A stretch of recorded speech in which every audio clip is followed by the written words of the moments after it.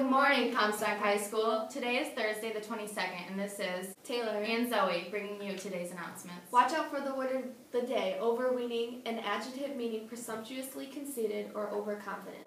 Today is supposed to be partly cloudy with a low of 65 degrees and a high of 86 degrees.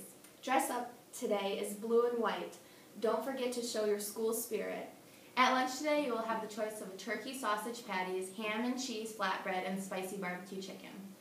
Don't forget about laugh at the staff every day at lunch. Bring in any loose change you have and vote for either Miss Ramsey, Mr. Pence, Mr. Hamilton, or Mr. Vandeman to do a lip sync in front of the school at the homecoming assembly. Right now, Miss Ramsey is in the lead, but it is a pretty tight race.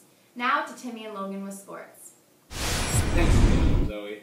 Had an absolutely perfect night for golf. The CHS girls golf team competed at the K Christian KVA event at Crestview, where sophomore Abby House fired a low score of the season, shooting a top 10 qualifying 47. Also playing well were senior Lauren Bonds with a 52 and sophomore Emily Dodson with a 55. Playing well in her first event was senior Ariana Blakely. The varsity hosts the Kate Kwanzi Memorial on Thursday at Eastern Hills. Always wonderful to carry on Miss Kwanzi's spirit.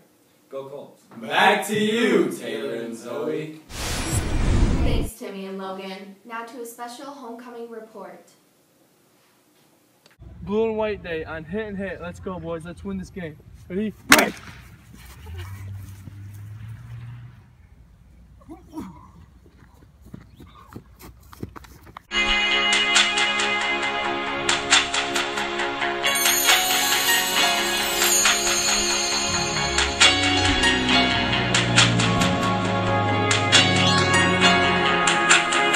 Hey, you over there, dress up for Blue and White Day Friday.